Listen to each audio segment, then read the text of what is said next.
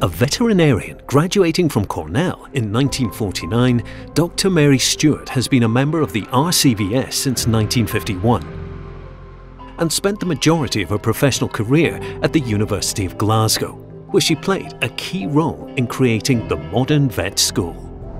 Mary promoted ethics and animal welfare thinking in her students by exposing them to the paradoxes in the human and animal bond from farm to home. She laid the foundation for a very different educational approach, including introducing philosophy in her clinical teaching. However, Mary's contribution to the traumatic emotional issues surrounding death and euthanasia has had the greatest impact.